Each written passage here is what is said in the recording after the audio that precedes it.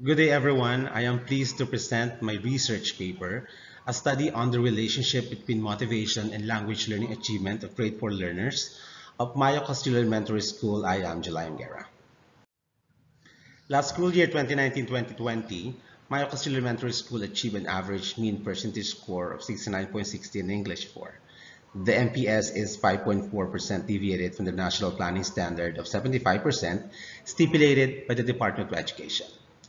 In this case, the learner's achievement in learning a language falls short to what expected from the students as the learners of the language, teachers as the partners of the students in the pursuit of the students' language learning, and the institution as the educational partners. Motivation is considered to be one of the most influential factors in language learning. In fact, Gardner and Lambert during 1959 stated that motivation is the most compelling factor when a language learner or user is tasked to learn a second language. Also, Dörnyei and Csizér 1998 mentioned that language learning success is very relevant to subjects' reported motivational strategies. However, scrutinizing the major language learning motivation with teenage language learners Leslie believed that it is still worth studying the extent on how motivation brings effective outcomes to the task of learning a language. Thus, motivation is deemed to be a great factor in language learning.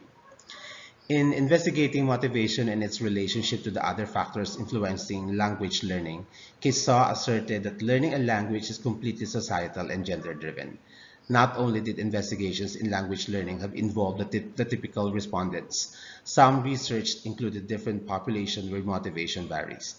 For an instance, Vaezi during 2008 has found out that Iranian learners of English are instrumentally motivated, for this will be their primary tool to being more capable in globalized community.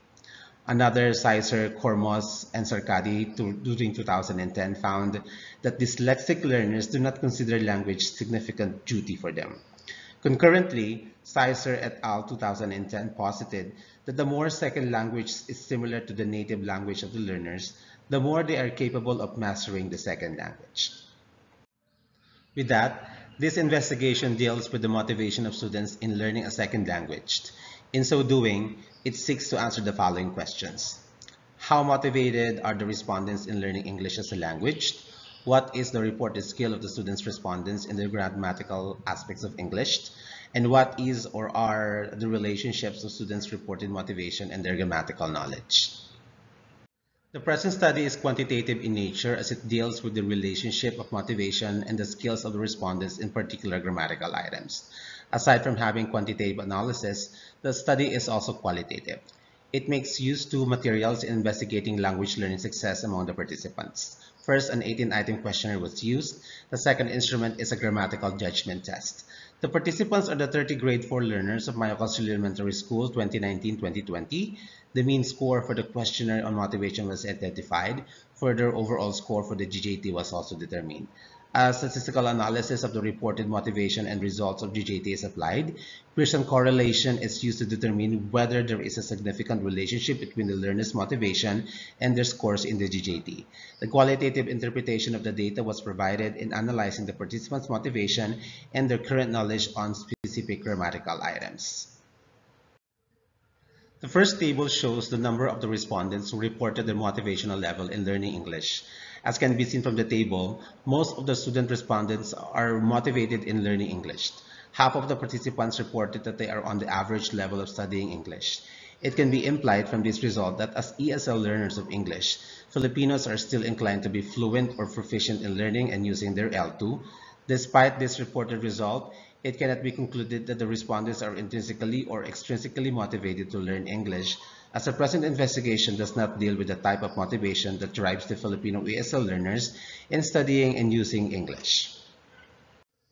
With the two-tail value of more than p equals 0.05, this result implies that the reported motivation level and the results of the participants' GJTs are not significantly correlated. It can be further argued that the motivational level of the students may not be an effective representative of the linguistic knowledge that they acquire. The result also shows that not all students who reported to have high motivation may do well in judging the grammaticality of the sentences in a grammar-focused exam. The figure shows the graphical representation of the relationship between language learning motivation and the obtained score of the respondents in the GJT. As evidently shown, it was found that the motivation of the respondents in studying a language is not relatively inclined to their success of learning a language. Moreover, the scattered dots imply the insignificant notion that motivation is the sole predictor of language learning achievement. The present study has found that elementary students may have high motivation in learning English, However, their performance in a grammatical judgment test tells otherwise. This study has also determined that success in language learning cannot be solely predicted by motivation. Parallel to the conclusive remarks of Bernard 2010, this study emphasized that achievement in learning, acquiring, and using language is dictated by several factors aside from motivation.